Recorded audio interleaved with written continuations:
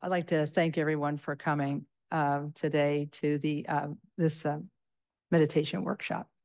And of course, the joke is that we had this terrible time setting up the television.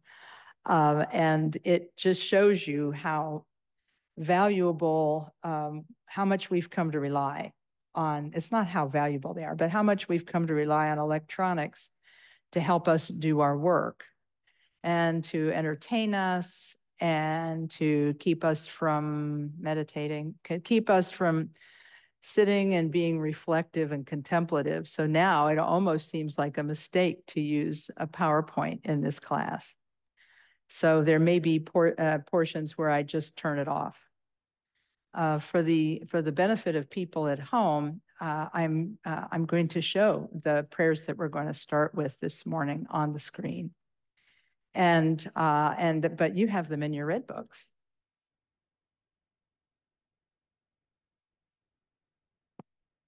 And uh, because uh, this um, the the wording in these uh, in the English translation, I would do these in English, except that the wording in the English translations are different on the one that's on your screen and the one that's in your hand.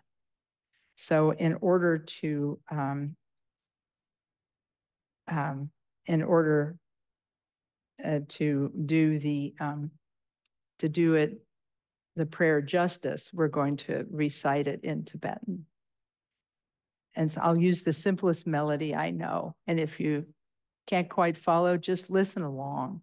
Because the function of the opening prayer is to set our intention for being here. Because every every moment of our life is guided by our intention, our inner intention. And this is why meditation is so valuable and so important, because every minute of every day of, of our lives is guided by our inner intention. Our mind is in the driver's seat, and the body and the speech just follow their commands. So, this means if we go back to the very beginning of Buddhism, the Buddha said, we are what we think. All that we are arises with our thoughts, and with our thoughts, we make our experience in this world. So that's why we're learning to meditate today, and we're going to do some meditation together. But I did I did make the PowerPoint, so we will start with the we'll start with the prayer. Uh, the again, if this melody that I'm using is unfamiliar to you, you don't have to worry about it. it you can just uh, start your meditation now by quietly listening to us chant this traditional melody and prayer that goes back centuries to the great um, Pengur Jampal Zangpo, who was a who lived somewhere in the 14, 15, 1600s. So somewhere around there. Okay, here we go.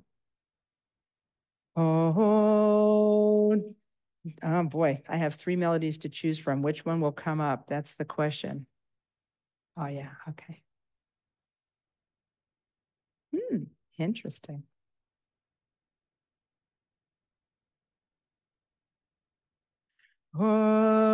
Dorje chan chen te lo na marpa mi la che je gam po pa Du sun she jiao kui kian karma. Che shi chung je ju pa zi na da Dri ta tsao sum pa den tru pa so Sablang cha ja che lang ha nye pe nyame dro gunda po ka ju la so a deb so ka ju la nam Je pate no nam ta chen ji lo.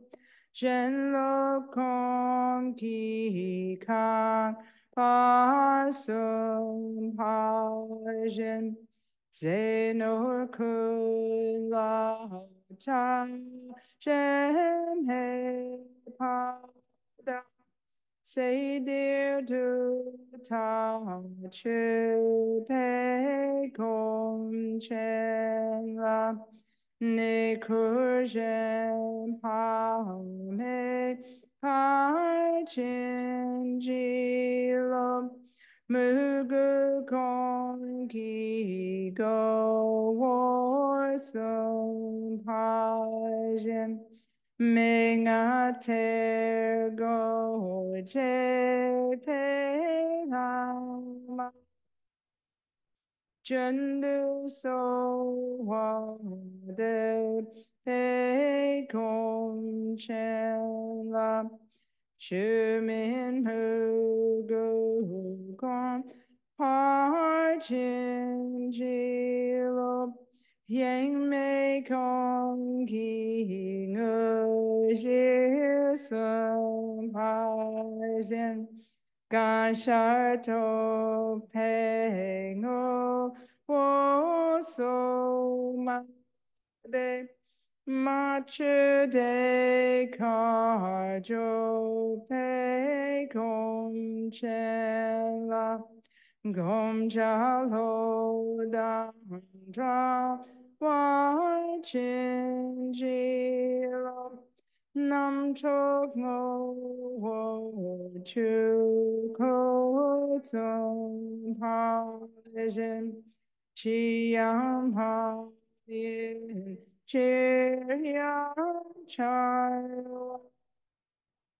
ma ga ro pa cha wei gong chen la Cordayer me to parchin jilo ke wa kun tu ya la pa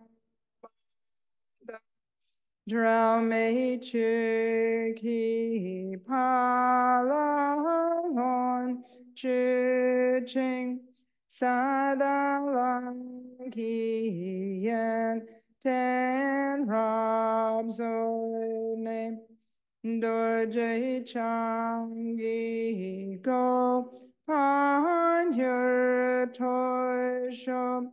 do jay chang gi go show Okay, thanks, everyone.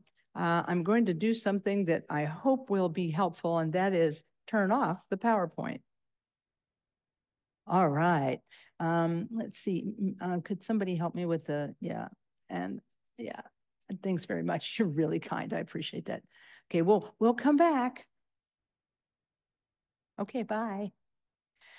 Um, it was um, uh, it was such a trial using the uh, using the uh, PowerPoint. So um, I'm going to just dispense with it for the time being and rely on my original notes uh, for presenting to you today. Um, my name's Kathy Wesley, and I work here at the Columbus Karma Choling Tibetan Buddhist Meditation Center. I've been part of the Meditation Center since its inception uh, in 1977. And uh, I and some of the original folks from the original group of people studied with uh, our founder, Khenpo Karthar Rinpoche, who started this center uh, at the request of students in Central Ohio in 1977 and remained its spiritual director, remained the spiritual director of this center until his death in 2019. So you can imagine uh, the, the loss we felt when he passed away because he was an extraordinary teacher who really understood Western people, even though he himself was born in Tibet and had spent his uh, entire youth uh, studying monasticism, meditation, and and uh, and the uh, Buddhist life. So when he left Tibet uh, as a refugee seeking asylum, in uh, in 1959, it was a different world then than it is today. And the, when he came to the United States and began teaching, he, um, he recognized right away that uh, the minds of Western people were trained differently than those of the people he had encountered previously. And he found a way through his incredible skill and his insight. He came, he came to understand us in some ways better than we understood ourselves. Because even though we grew up in a different culture with a different lifestyle, with different value system than his, he came to understand we were all human beings. We were all human beings, and that human beings have been the same since the beginning of human beings. And so we would all benefit from the basic skills of mindfulness and meditation that the historical Buddha, Shakyamuni, taught 2,500 years ago in India. And so as a result, his teaching, although rooted in his Tibetan upbringing, was nonetheless able to convey to us incredible depth and strength. And so, uh, and so I feel very lucky to have been in that generation of practitioners. I see several people in the room. Has anybody in this room also seen and heard Khenpo Karthar Rinpoche teach? I think there's maybe only a handful. There's one, two, yeah, just a couple of us. Okay. Well, you're going to get a little bit of Khenpo Karthar Rinpoche long distance today. Uh, because um, since the Buddha taught that the mind of an individual does not go out of existence upon their death, but continues on uh, in this in uh, in some way in this world, we we sort of believe he's still here in some way, even if his only existence is in the teachings that we ourselves received from him and practiced. So I want to welcome you to uh, Khenpo Karthar Rinpoche's uh, World of Meditation. The material I'm going to be sharing uh, will be found uh, in this book, uh, the Dharma Paths book. This is the old edition. Uh, there is a newer edition that has a pretty a prettier cover, although I think this cover is quite handsome. a friend of mine designed it, so I'm partial. Uh, and um, he wrote uh, an extensive uh, his an extensive book here covering all aspects of Buddhist practice, from our first inkling that there is something beyond the mind we have now and uh, into Buddhahood. It's all, it, it, his teachings on this are explained, including his teachings, his basic teachings on meditation. Uh, the other book that I'm going to be referencing today is this book, Excellent at the Beginning, uh, Khenpo Karthar Rinpoche's book uh, on practical aspects of Buddhist practice. So that's a little bit about what we're going to be doing today. Uh, and additionally, uh, we'll be meeting, uh, we'll have uh, four sessions today. The first session is from now through um, the 12 noon hour. At the 12 noon hour, we will break for lunch. Um, I encourage folks to bring a sack lunch, but if not, we do have coffee and donuts downstairs. Uh, compliments of our host this morning, Chuck. And um, sorry for the Zoom audience wish you could be here for coffee and donuts. But, um, uh, and then we'll begin again at 1 p.m. and go till 3 p.m. today. So um, the, the function of, um, of meditation is to work with our minds because look at what we go through trying to interact with our world every day. Look at how difficult it is for us. We have all kinds of problems that come up and we have to be able to deal with them with as much grace as we possibly can. And so it's um it's a challenge for us. We have all kinds of things that cause us distress. We have uh, physical problems. We have emotional challenges. We have um, family challenges. We have so many things that happen uh, in our everyday life. And sometimes we almost feel like uh, we're being ordered around by our, by our mind. And, uh, and in fact, I remember when I first started teaching meditation, I thought, it's like having a, a, um, untrained animal on a leash, you know? And and in fact, um, the nine stages of shamatha uh, that I'm going to be explaining here today, uh, it references the um, it references a drawing that I, that everybody's going to get a copy of and be able to take home. It's going to um, that is of a meditator chasing their mind in the form of an elephant. In classical um, in classical uh, Buddhist teaching, the elephant was symbolic of the mind. Okay, here we go. I think this is going to take, this is going to work. Let's see.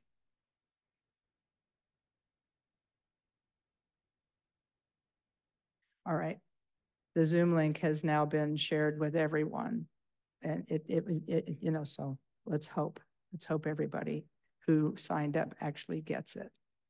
So um, because our mind is the, the, the seat of all of our experience, if we want to work with our experience, we have to work with our minds.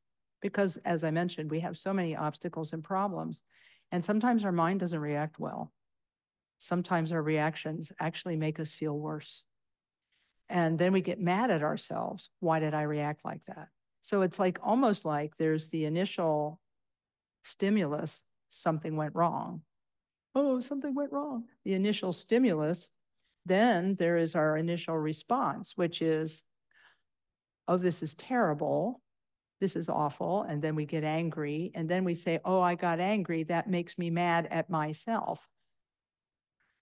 And so we have to find a way to peel all of these back to as close as we can to that initial moment that initial moment of experience in the mind. Because the, the Buddha's teaching about the mind was that the senses, the tasting, touching, seeing, hearing, all of that, all that does is convey information. The body conveys information, but it is the mind that experiences these things. And the mind is shaped and formed by its habits. These habits come from long ago. If you believe that there's only one life and we are in it from our birth until now, that's a pretty long time for our habits to have formed. But if you believe in past and future lives, there's an even longer timeline we have to work with, a longer timeline of habit that we have to work with. And what we know based on our own experience is that when we exercise and strengthen, we strengthen a habit. When we exercise that habit, we strengthen it. So that when something, when we have that stimulus, something frustrates us or makes us unhappy, and we instantly react, then we get mad at ourselves for our reaction. There's several layers of us trying to work with ourselves, but we don't have methods or techniques. And this is the function of meditation. Meditation slows down the process of the mind. It slows down the thought process, the perceptive process. It slows down all the processes so that we can literally take a breath and make a different decision. Maybe not right away.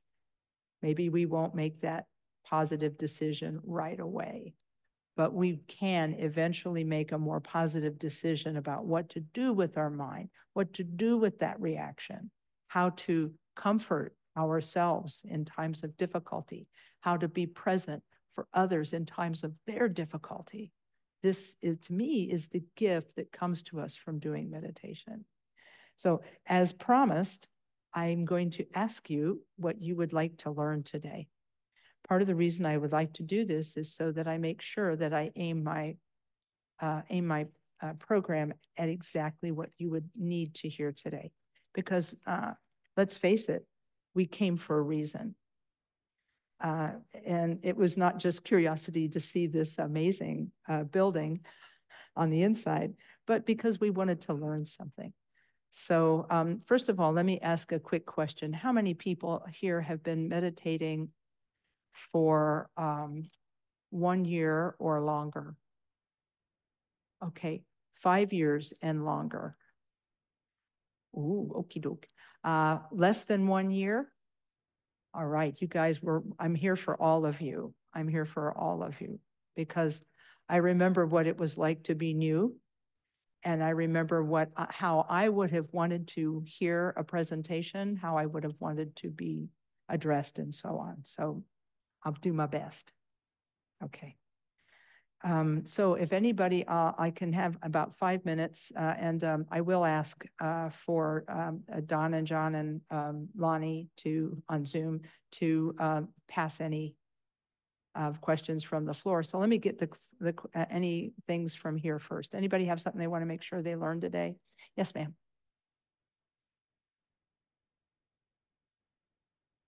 Yeah.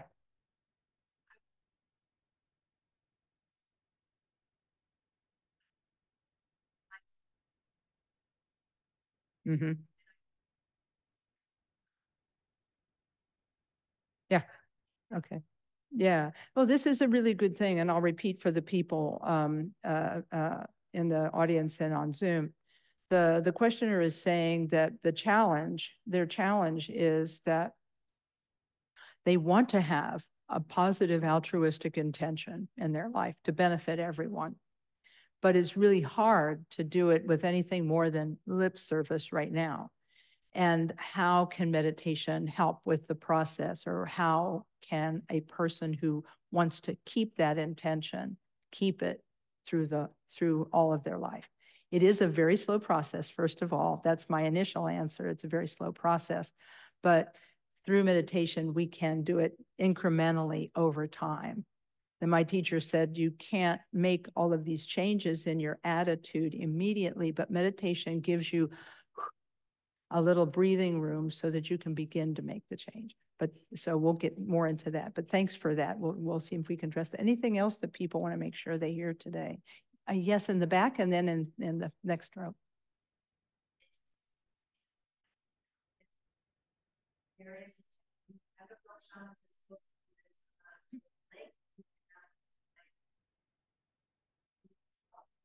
Okay. Yeah, yeah.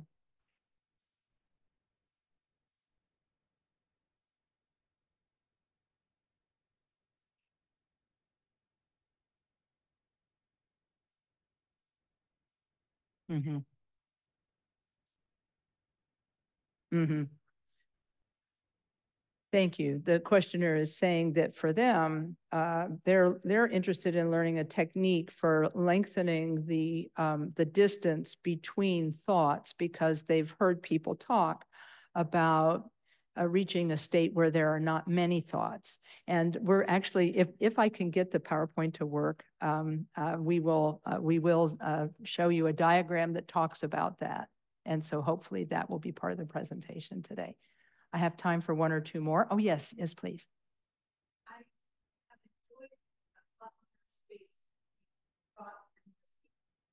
Yeah.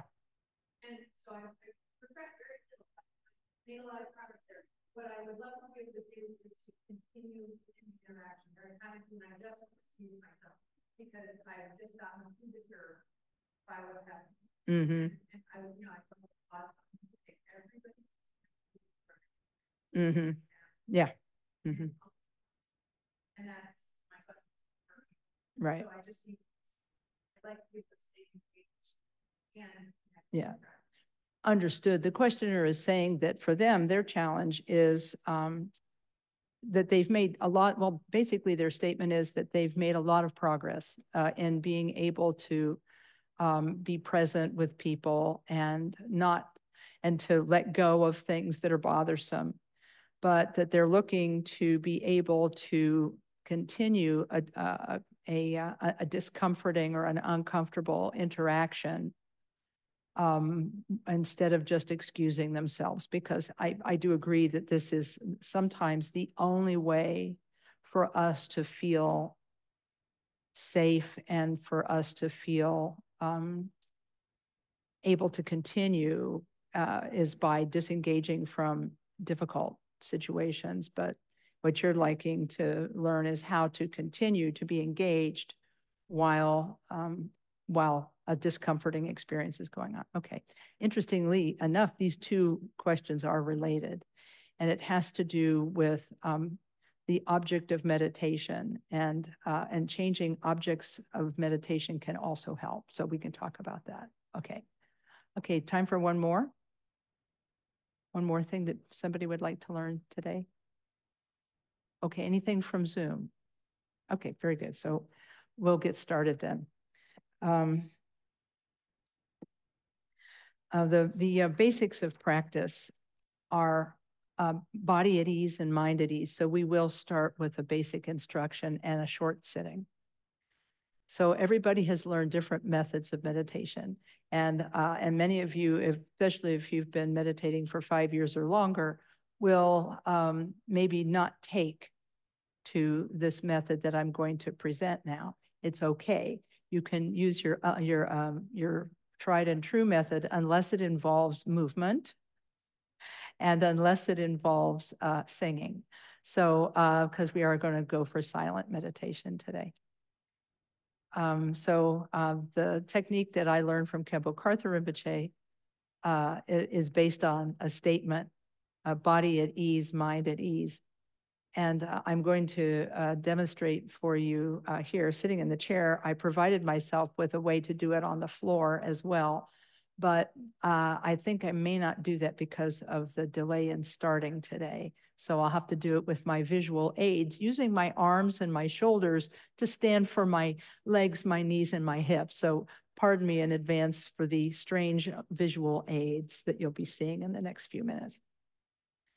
So placing the body at ease means to um, uh, to we build that we build the meditation posture from the ground up. If we're sitting in a chair, this means we begin with our cushion and our legs. My teacher said that the ideal cushion is four finger widths high. Now, this is a problem for many people who come who live in a culture where chairs exist. If you haven't grown up sitting on the floor, four finger widths is a very small cushion. So you might need to double that or even triple that in order to feel comfort as you sit. But I thought I would give his instruction of the four just for just for reference point. So it starts with the cushion. Now, if you're sitting in a chair, this means that uh, you should sit with your um, feet flat on the floor, uh, and your legs can be hip width apart. And uh, then if you're sitting on the floor, your legs can be in one of several postures. Some people like to just sit cross-legged, uh, loosely cross-legged. Some people like to sit in the what's called in uh, Hatha Yoga the lotus posture, and it's called in Buddhism the Vajra posture, with the left foot on the right thigh and the right foot on the left thigh. Um, this is a little difficult in fact, my teacher said uh, the uh, only way you should do this is if you can, uh, right away when you meditate, is if you can do it with comfort. Otherwise, he said, you're going to have to practice it for a while before you try to do it while meditating. He said, for example, do it while watching television. That may distract you from the pain, he said. I loved his sense of humor. In any case, um, that's how you can place your legs, or you can sit in half lotus with one, one leg tucked in and one on top, or in what's called the easy pose with one leg in front of the other, whichever of these methods you use.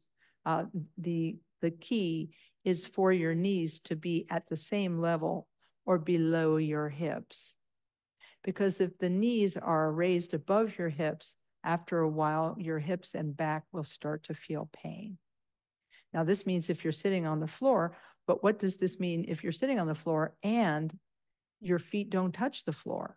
Well, then you have to put a cushion under your feet. We have three different levels of cushions here. So you can pick the one that allows you to sit with your knees below your hips. So that's the, the legs. And, uh, and the next part of it is your seat. Uh, you can uh, There are two ways to ground yourself on your seat. One way is to uh, rock gently from side to side and tuck in the muscles of the backside. Another way is to um, uh, to do a, uh, a a short exercise called the drawing up, in which a person tightens and draws up the muscles of the pelvic floor briefly, and then relaxes as a way of establishing oneself on one seat. So we've covered the seat and the legs, now the back. The back should have its nice natural curves in it. Uh, you can actually imagine the breastbone moving up, and that will give you a straight posture without the shoulders being hunched. I had a friend who was a martial arts teacher. He said, if you want to know what your comfortable back position is, he said, you uh, bow your back incorrectly, and then you arch your back a little too much, and then take a few degrees off the arch of your back until you're comfortable. Next, the shoulders, hands and arms. I know you see many people sitting with their hands up in meditation, but the function of our meditation here is grounding. So we place the hands palm downward on the legs. Now, I know many of you will be familiar with images of Buddha statues in which the Buddha is sitting in a position with the left hand on the bottom, the right hand on the top, and the thumbs touching. This is actually listed in the sutras. However, uh, Khenpo Karthar Rinpoche said he preferred the hands on the legs for one reason. He said very few people can actually sit in the lotus or vajra posture. And he says, if you cannot sit in the lotus or vajra posture, attempting to sit in this artificial pose will make it difficult for you because you'll have to hold it artificially. Whereas if you can do the lotus posture, he said you can just sit, you can rest your hands on your upturned feet very comfortably. But for the rest of us, our hands are downward. My teacher, uh, Rinpoche, also gave a method for placing your thumb at the base or the first joint of the ring finger and then closing one's hands in a light fist. Your hands look like lion's paws, he said. He said the benefits of this is it creates good movement of energy in the body, and it also keeps your hands warm. The chin can be tucked in slightly, which you can feel straightens the neck vertebrae, bringing some comfort. Your eyes can be cast downward slightly a few feet ahead. You're gazing, not looking, you're gazing in the general area. Your eyes can be uh, partially open. Some people ask, what's the function of this? My, uh, my advice is that the reason that I tell people this is important is because we're not trying to shut out the world with meditation. We're trying to be with the world. But if this is problematic, it's okay to close your eyes lightly. But of course, I have to warn you, you might fall asleep.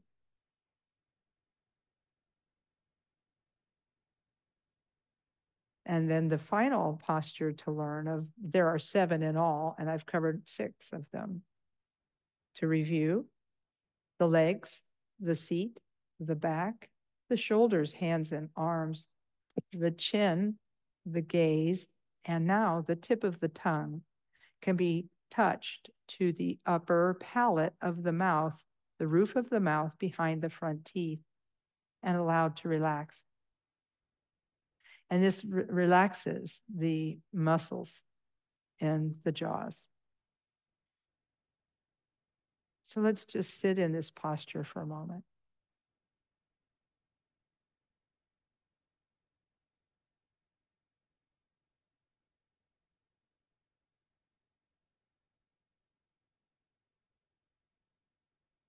Khenpo Rinpoche told us this posture all by itself can cause a little bit of relaxation to the mind.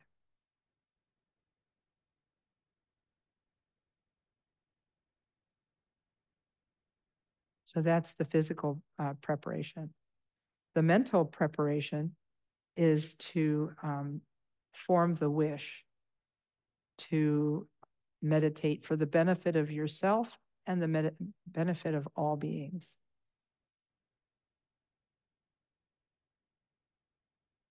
Forming that mental intention, the meditation itself begins with uh, one deep breath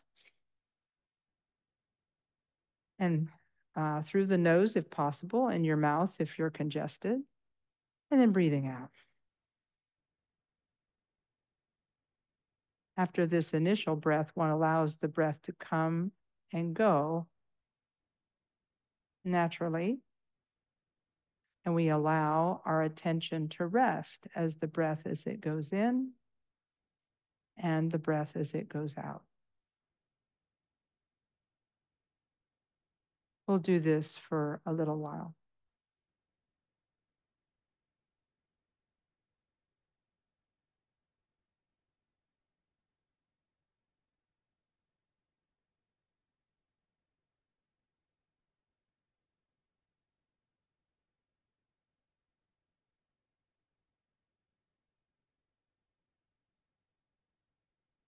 As you practice, you can uh, notice the breath and how it feels going in and how it feels coming out.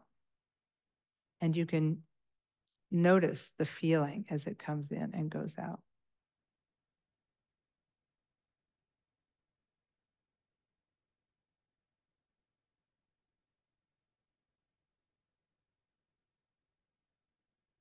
What you'll notice is that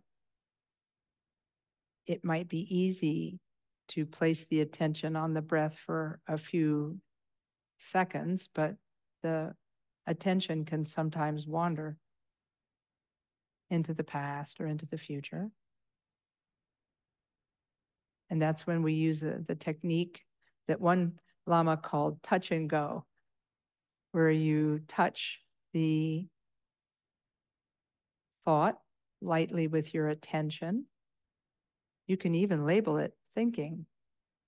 Then you consciously let go of it and consciously and gently, with love and compassion, gently usher your attention back to the breath and think of that as a fresh start.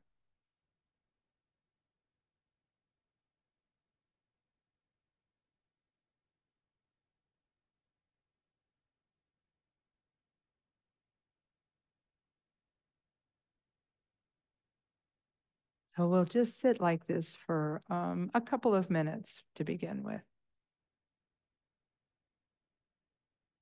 Resting the attention on the breath as it comes in and goes out. And when the attention wanders, we bring it back gently and think that we're starting fresh.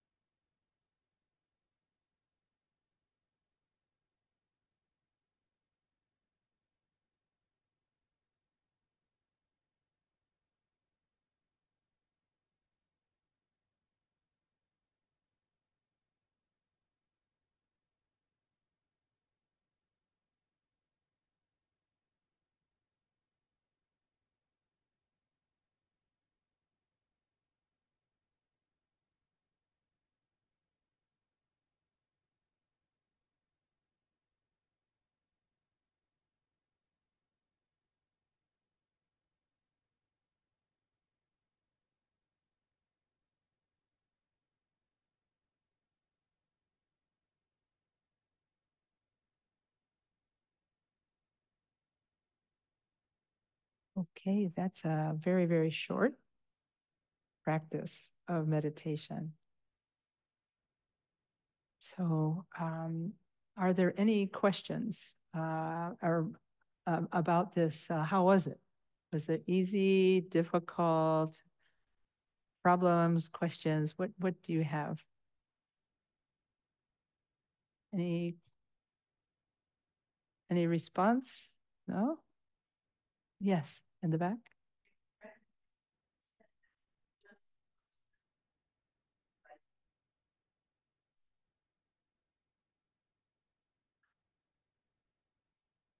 Okay, yeah, that's good. The the the comment is that uh, uh, the the person is saying that at home they don't often pay uh, a, a, attention to the posture. Uh, that's uh, and and and it really does. Um, the the term that Khenpo Rinpoche used when he talked about the feeling of putting your body into the posture was he called it harmonious surprise. He said you can be surprised at how good it can feel. Now, a lot of people have pain when they meditate and they they ask, well, what do I do if I feel uncomfortable or if uh, I have an itch or something, you know, what, how, what do I do? And, um, and the answer uh, that Rinpoche gave usually would be, tell yourself there's nothing you have to do about it just now. When you first feel discomfort, say to yourself, hmm, interesting. I don't have to do anything about that just now. And then he said, you return your attention to the breath and then uh, observe the breath again. And he said, if it comes back, he said, then that's the time to move your posture or adjust your posture so you are more comfortable and so forth. He said, uh, what this technique does is he said it gives you a little extra strength in your meditation because he said you did not move in an impulsive way, in a reactive way. He said you went a little farther than you thought you could go, but not too far. Because I think um, this is where some of the injury of meditation can occur, because this, of course, is a, a phenomena that's being studied now. People who have adverse reactions to meditation and so when this type of, if any type of adverse reaction happens, that's when you talk to your instructor and say, when I meditate, this happens. Some, for some people, that adverse is um, a feeling of pain. For other people, it's a feeling of being nervous. So there are lots of things that can happen when a person meditates. And meditation, this particular style of meditation is not for everyone. Uh, like I say, for some people, it makes them feel a little bit more nervous. And for other people, um, it can feel um, a little bit scary because they, the, most of us are not used to working with our mind one on one. Most of us work with our mind through the intermediary of talking to other people. And when we're left alone with our thoughts, sometimes uh, we can feel a little bit uncomfortable, put it that way. So, uh, so any uh, other reactions? Yes, please. Uh, yes, the, the questioner is asking about uh, using counting. You know, um, in fact, um, uh, or my teacher did say that counting is really good at the beginning. And uh, so even now, after meditating for more than 40 years, I always count at the very beginning. And the way counting is done is in breath, out breath. That's when you count at, on the exhalation. In breath, out breath, mentally count one. In breath, out breath, mentally count two, and so forth. And uh, I was having this discussion with one of the meditation instructors this week. They said, Well, what do you do um, if you have a thought? And I remember hearing one of my teachers say, well, if you have a thought, that's no problem. Uh, just go back to where you left off in counting. And then if you don't remember where you left off in counting, just go back to one. This is just, uh, this is not, see, this is not a perfection situation. This is a training situation. This is why they call it meditation practice, you see, is because many people think that when they hear or see an, a meditation instruction, that they have to perfectly follow it. And the answer is we do the best we can. Uh, but uh, there's no, this is not a, a, what is it? This is not a perfection situation where we're trying to be perfect and have a perfect session of meditation. We're actually making friends with our body and we're making friends with our mind. And so, uh, just like the uncomfortable conversations we talk about sometimes, sometimes we have an uncomfortable conversation with ourselves. Like, oh, darn, I would like to be able to stay with the breath more. But that's okay. You can let go of that just as easily, right? And uh, so, if, no matter which thought we're having, if it's the thought, oh, I wonder if, you know, I wonder if it's going to rain today, then just thinking, go back to the breath. Or what did that person mean when they said that to me yesterday? You know, and then we can label that thinking, let it go, and return. Or, oh, darn, I just got distracted. Oh, let that go and return, you know. Uh, so it's like that. It's a it's it's a, a process of making friends. Anything else that people like to mention? Okay. Well, then uh, let me give you a, a, couple of pieces of advice and then we'll take a break, take a five minute break because uh, we started a little late today because of the technical problems. And I want to make sure you get a chance to get up and stretch and uh, so forth. So um, when uh, when we first start meditating, uh, it's best to start with a, a, shorter period of time at first. Um, you could start with five minutes or 10 minutes to begin with, just to see what kind of meditator you are. Because my teacher said that there are two kinds of meditators. There's the first kind of meditator is when they first sit down so easy to put the body in the right position, so easy to follow the breath, so easy. But then the longer they sit, the harder it gets. He said that this person should pay attention to that and should sit for shorter periods of time at first. Maybe instead of having one a longer session, have two shorter ones. And then the second type of meditator is a person who, when they first sit down, th- their attention is all over the place. It's really hard to settle down. But then eventually, after a few minutes, they their attention settles down. They settle down. And he said that person should sit for a little longer period of time, a little longer period of time.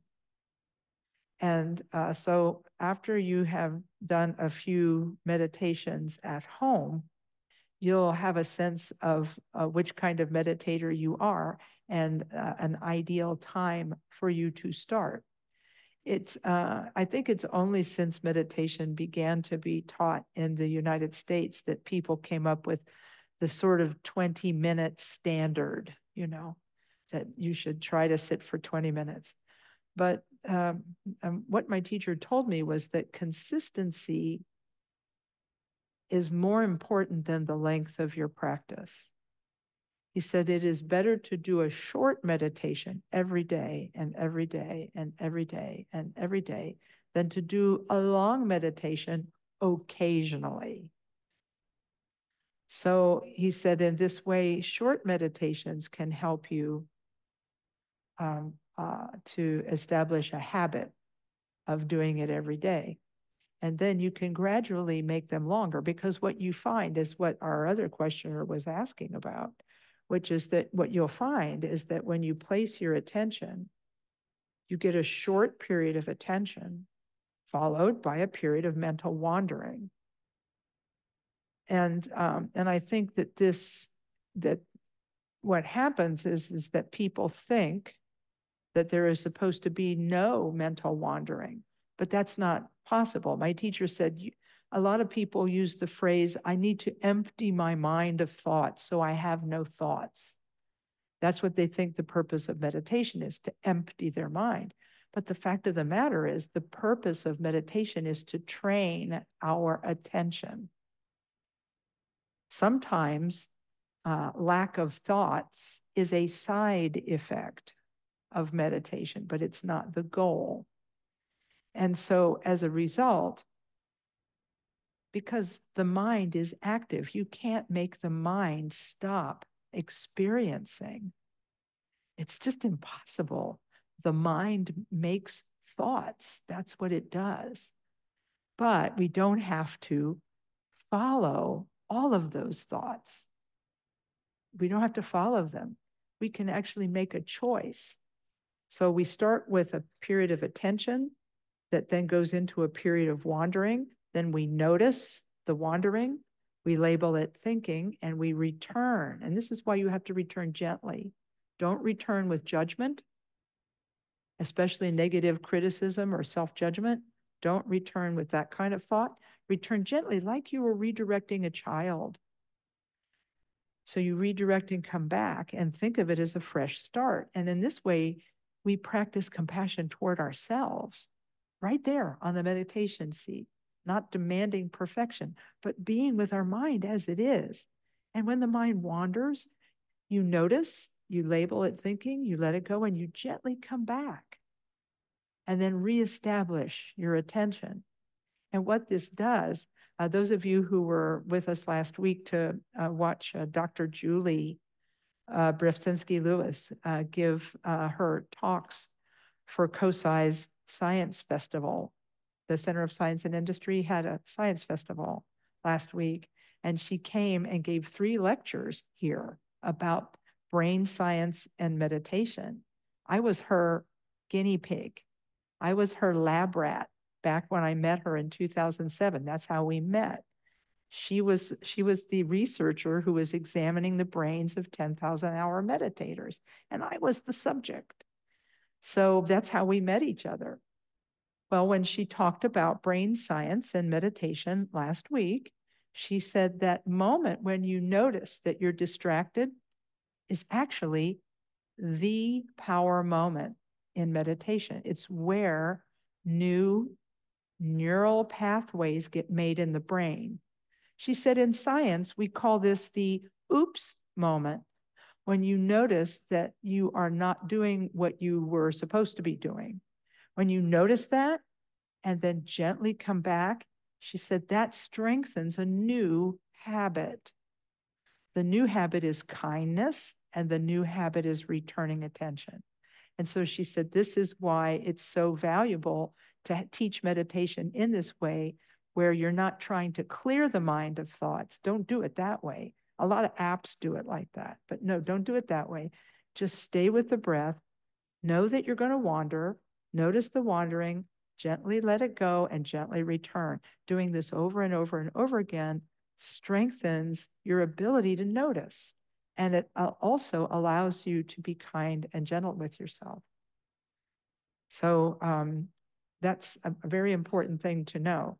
Now, as the questioner uh, earlier noted, there may be a time when you have a little, a little bit less thoughts in your mind, or the period of uh, time between thoughts is a little less, but this is not the main goal. The main goal is to return again and again and again, and to return with this incredible gentleness that allows us to be with ourselves without judgment. And in practicing being with ourselves without judgment, this helps us to be without judgment for others. So before we take our break, let's sit for another, just another two minute meditation so we can work with our technique again. Placing the body in the posture of meditation. Noticing the legs, the seat, the back, the shoulders, hands and arms, the chin, the gaze, and the tip of the tongue. Beginning with the intention of being of benefit to ourselves and others. Taking one deep breath, breathing out, and then allowing the breath to come and go naturally.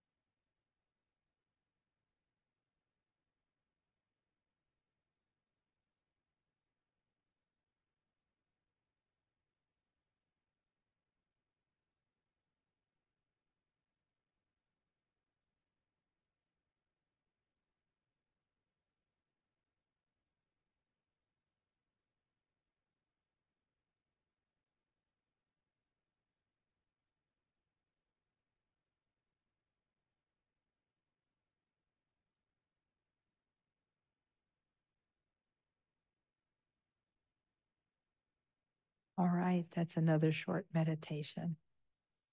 So now um, at, uh, we'll, we'll take uh, about a five minute break. Uh, and uh, you can use the restrooms. There are two restrooms up, uh, three restrooms upstairs and two downstairs. Uh, there is also coffee and a snack if you would like to have that. So I'll see you in five minutes. Anybody who has questions, you can come up and we'll handle as many as we can. Thank you.